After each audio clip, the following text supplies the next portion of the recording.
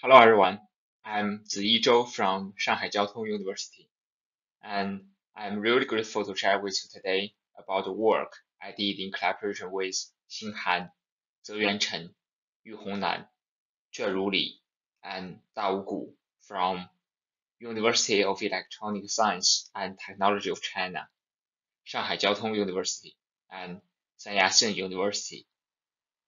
In this work, we focus on a recently emerged authentication scheme on mobile platform. This authentication scheme is called one-tap authentication and is widely used by mobile apps. One-tap authentication is essentially a third-party based authentication scheme supported by mobile network operators. It is similar to other login options such as single sign-on. For apps that have integrated this scheme, the app user can log into her app account with the local phone number of the device. Here, the local phone number refers to the phone number that is bound to the SIM card on this mobile device. More specifically, as shown in these pictures, the app will display the masked local phone number as one of the login options. Here, the masked phone number refers to part of the phone number, such as the 195 for asterisk 4021 in the picture. If the user chooses to log in by this method, she only needs to tap on the button. Otherwise, she can manually choose to log in by other methods, such as by invoking other apps. What is special about one-tap authentication is that during the entire login process, the user does not need to type or paste anything such as SMS one-time password. In addition, one-tap authentication also facilitates those users who are disturbed by remembering different passwords for different apps. Given the huge convenience of one-tap authentication, many popular apps have introduced one-tap authentication schemes. The most unique part in these one-tap authentication schemes is that the local phone number is obtained neither through user input nor by requiring any system permissions. Instead, the local phone number is obtained based on the capability of mobile network operators. In the following, we will refer to mobile network operator as MNO for short. In other words, if an app wants to integrate one-tap of authentication, it has to use MNO's service. There are two ways for an app to introduce MNO service. The first one is to directly integrate the SDK developed by the MNO. In mainland China, there are three MNOs, China Mobile, China Unicom, and China Telecom. The second one is to integrate a third-party SDK. Such SDKs are developed by third-party agents and have integrated MNO's SDKs. Typically, these third-party SDKs will include other authentication functions as a syndicator, such as authentication based on SMS one-time password or authentication based on WeChat account. Now, let's focus on the high-level design of one-tap authentication services. Before the one-tap authentication procedure actually starts, the user's smartphone needs to interact with the MNO core network system to perform the AKA procedure and the SMC procedure. After this, the user's smartphone and the MNO core network system have established a secure connection based on the shared root key. Through this secure connection, the MNO core network system has the capability of recognizing the local phone number whenever it receives a data package from an end service. The one-tap authentication procedure begins after the secure connection is established. First, in step 1, the app on user's smartphone sends app-specific data to the MNO server through cellular network. Since MNO has the capability of recognizing phone number, the MNO server can generate a token that is associated with its phone number and transfer it back to the user's smartphone in step 2. Then, in step 3, to perform authentication, the user's smartphone needs to send this token to the app server. The app server will forward this token to the MNO server in step 4 in order to get the phone number related with this token. In this way, the app server can know the phone number of user's smartphone in step 5. Having known the phone number of the user's device, app server can decide whether to allow its login request in step 6. Next, let's have a look at the details of the one-tap authentication protocol. We abstract the one-tap authentication as a three-phase process. The first phase is the initialization phase. In this phase, the user starts the one-tap authentication by typing on the login or sign up button, which results in sending a request to the MNO server. Since MNO has the capability of recognizing phone number, the MNO server already knows the phone number after receiving the request data. Thus, after confirming that the app ID, app key, and app package signature are legitimate, the MNO server will return the user's masked phone number to the MNO SDK.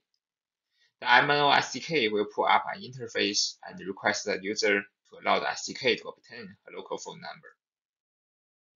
The second phase is the token request phase. In this phase, the app client will obtain a token, and the token is associated with the app ID, app key, and the local phone number. With this token, the app server can learn the local phone number.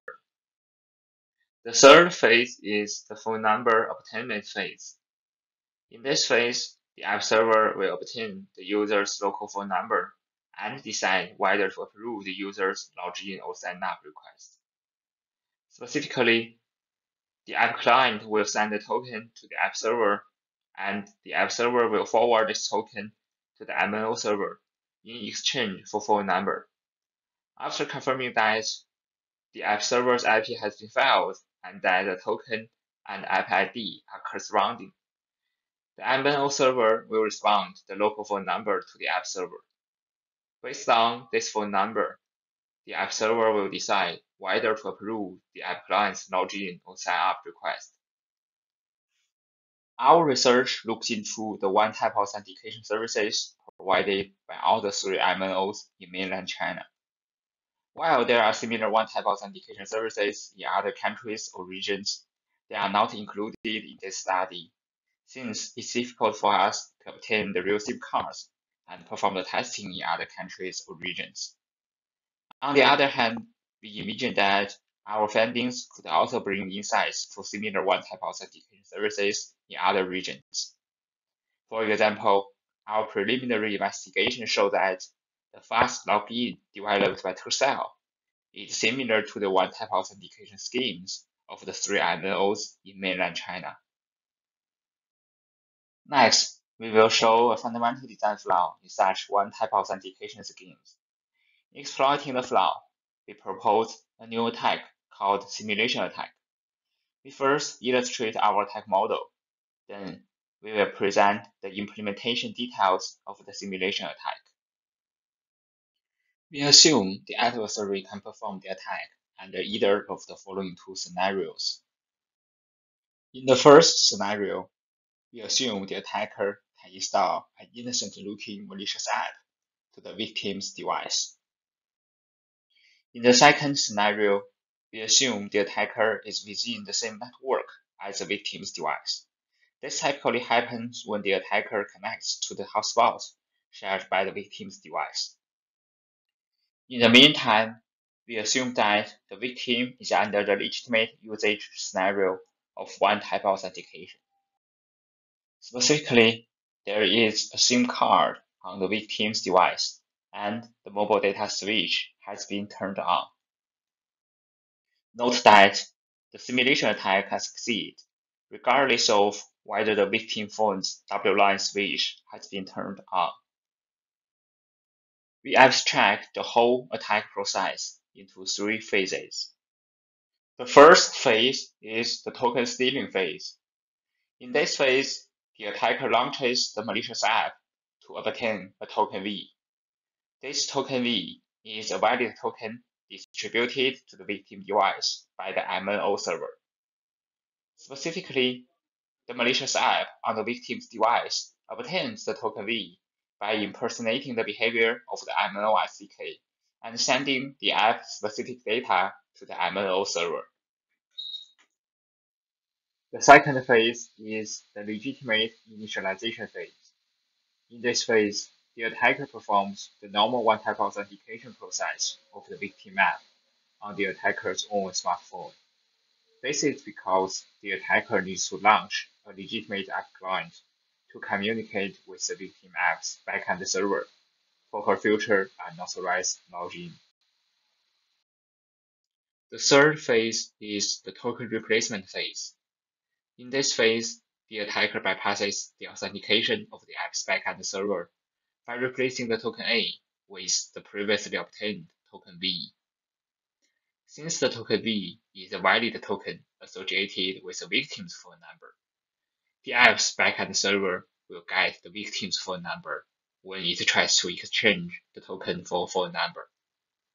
In this case, the app's backend server mistakenly treats the attacker as the holder of the victim's phone number, and then approves the attacker's login or sign up request. Next, let's see the implementation details of the simulation attack. As mentioned before, the attack can be implemented under two scenarios. In the first scenario, the attack is performed via a malicious app. The overall process of this type of attack has been described just now. In the second scenario, the attack is performed by connecting to the victim's hotspot. In this scenario, we assume that the attacker can connect his own smartphone to the mobile hotspot of the victim's smartphone. Thus, the attacker can send app-specific data to the MNO server through victim's cellular network. Then, the attacker follows the same subsequent steps as a previous attack via a malicious app. And finally, the attacker can successfully bypass the authentication scheme. To better understand how real-world apps are affected by the attack, we performed a large-scale measurement of a set of popular Android and iOS apps.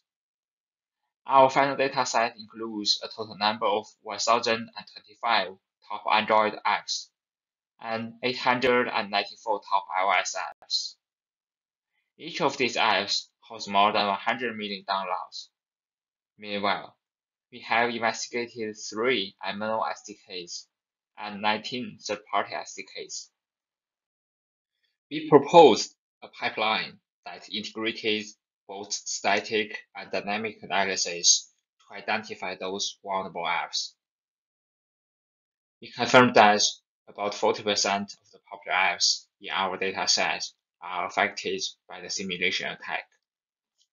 To detail, for Android apps, our automated analysis pipeline helps us to locate 471 candidates, and our manual verification confirmed that 396 out of these 471 apps are indeed vulnerable to the attack. For iOS apps, the result is similar. Among the vulnerable apps we have identified, 17 apps have more than 100 million monthly active users, and 87 apps have more than 10 million monthly active users. According to the statistics of China Internet Network Information Center, the total number of mobile internet users in mainland China has surpassed 1 billion by June 2021, and nearly all of them use services provided by the three major MNOs. Meanwhile, China Mobile claimed that its one-tap of authentication service has been called more than 1.69 trillion times by October 2021. Thus, we believe that more than 1 billion users are potentially affected by the vulnerabilities. In addition to the three SDKs developed by the MNO, we also investigated 19 third-party SDKs. Among them, 8 third-party SDKs are found to exist in our app dataset. Since the root cause of the vulnerability is the insecure design of the authentication scheme, all these third-party SDKs are vulnerable to the simulation attack. We discovered that the design flaw in one tap of authentication scheme may lead to several security risks, and we summarize them as follows. The first risk is that the attacker can perform unauthorized login as a victim user. This has been described before. The second risk is that the attacker can register a new account with the victim's phone number. We observed that a large portion of app providers have simplified their app account registration and activation processes when a user uses the one-tap authentication for the first time. Specifically, if the used phone number has not yet been registered to the app service, the phone number will be automatically registered without any user involvement. While this automated process facilitates new users, it actually expands the attack surface of the simulation attack. Even if a user would not like to use a certain app, simulation attack could associate a phone number to a new app account. The third risk is that the attacker can disclose the victim's phone number. This is because when receiving a phone number from the MNO server, some app servers will insecurely return this phone number to the app client. Such an app server can be easily abused as an oracle to obtain the victim's phone number. The fourth risk is the one-tap authentication service piggybacking. To use one-tap of authentication service, developers are required to pay the corresponding fees. However, an app could abuse the one-tap of authentication service of other registered apps to implement a free and unauthorized use. Our analysis of the identified apps and SDKs also revealed a set of additional implementation weaknesses involving both SDK developers and app developers. The first one is insecure token use. As an important credential, the use of token should have been strictly restricted. However, in reality, some MNOs restrictions on tokens are not strict enough, mainly including allowing the reuse of token, allowing multiple effective tokens, and setting too long validity period. The second one is authorization without user consent. Specifically, one-tap of authentication SDKs require the app to obtain user's mobile phone number only after popping up an interface and obtaining user's authorization. However, we discovered that some popular real-world apps have retrieved the phone number before popping up the interface. The third one is plain text storage of sensitive information. Through analyzing real-world apps, we found that many apps have hard-coded their app ID and app key into program files in plain text form, making it easy for an attacker to obtain the app ID and app key. We argue that the root cause of the flaw is the MNO server's incapability of distinguishing different apps on the same device. Thus, a malicious app can impersonate a benign app. Correspondingly, we propose the following countermeasures by adding certain factors that the malicious app cannot generate or cannot intercept. The first one is to add user input data into the login request. The one-tap authentication process could require users to provide some information that is unknown to the attacker, such as her full phone number or her family name. The second one is to add OS level support. OS has the capability of dispatching a token to the legitimate app. Thus, even if a malicious app can send a login request, it cannot obtain the corresponding token and perform the attack. In conclusion, in this work, we uncovered several design and implementation flaws of one-tap of authentication, which has a large usage and high popularity among real-world apps on mobile platforms. Exploiting these flaws, we design an attack method to fully bypass the authentication and perform malicious actions to the target app. We perform a large-scale measurement to evaluate the impact of these threats. To achieve this, we propose a pipeline that integrates both static and dynamic approaches to detect potential affected apps. We confirmed that about 40% of the highly popular apps are vulnerable to the attack. That's all. Thank you for your watching.